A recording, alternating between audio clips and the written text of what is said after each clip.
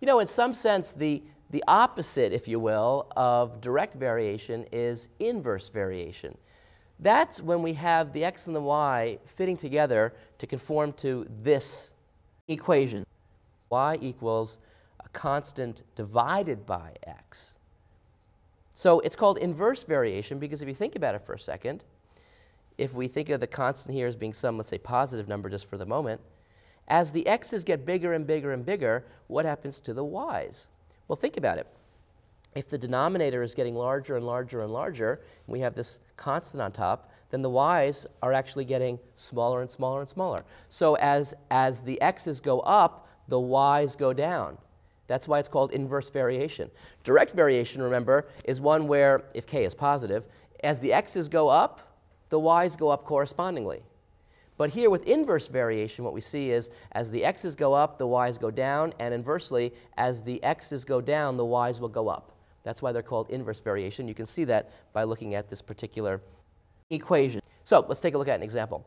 So given that y varies inversely as x. That alone tells us this is the equation. We don't know k. We don't know k, but we know it looks like that. And, uh-oh, incoming information, y equals 2 when x equals 6. Well, that information is going to allow us to figure out what k is. Anyway, now our mission is to write and graph the inverse variation equation. No problem. Because you see, once I know it's inverse variation, I know it looks like this. Once I am given two points, y equals 2 when x equals 6, I can find k, that special constant. Remember, k is not a variable, it's just an unknown constant. So I see that 2 for y will give me 6 for x, and I can multiply both sides by 6, and I see that k equals 12. And so therefore, y equals 12 over x. That is the inverse variation in this case. Okay, great, that was pretty easy. And now we want to graph it.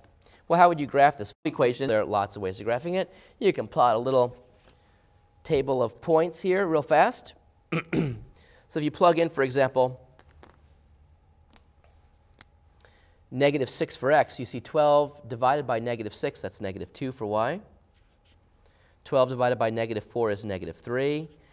12 divided by negative 3 is negative 4. 12 divided by negative 2 is negative 6. And then we get the similar type of values here, the positive ones. And now we can plot away. Love the plot. You got to love the plot. That's sort of funny. Next time, like you're you know, reading a play and, and they say, you know, what's the plot? You can say, well, I don't know. Where's the table of values? and you can all right, um, negative 6 comma negative 2. So negative 6 comma negative 2, put a point there. Negative 4 comma negative 3. Negative 3 comma negative 4. Negative 3 comma negative 4. Uh, negative 2, comma, negative 6, negative 4, negative 5, negative 6. Then we do a little jump here to 2. 2, comma, 6. Uh, 3, comma, 4. 4, comma, 3. 6, comma, 2. So what does it look like? Well, notice that they sort of, part of it's here and part of it's here. Notice that we seem to never cross the y, uh, the x equals 0 line. Does that make sense? Sure, look at this thing. You can't have x equals 0 because you can't have 0 in the denominator. So in fact, we have what's called an asymptote. And then the functions drop heading toward the x-axis, namely heading toward a height of y equals 0.